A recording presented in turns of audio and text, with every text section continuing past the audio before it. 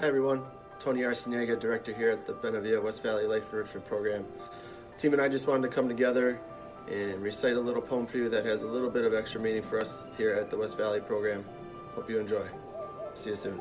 May you always have an angel by your side by Douglas Pagels. May you always have an angel by your side. Watching out for you, helping you believe in brighter days. and in dreams come true, giving you comfort and courage someone to catch you if you fall.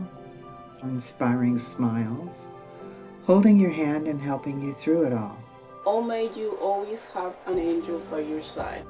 Hello guys, it's Anai.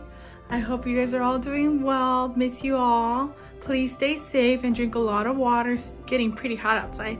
I can't wait to be with you once again when Benevilla opens. Stay safe. Love you all. Bye.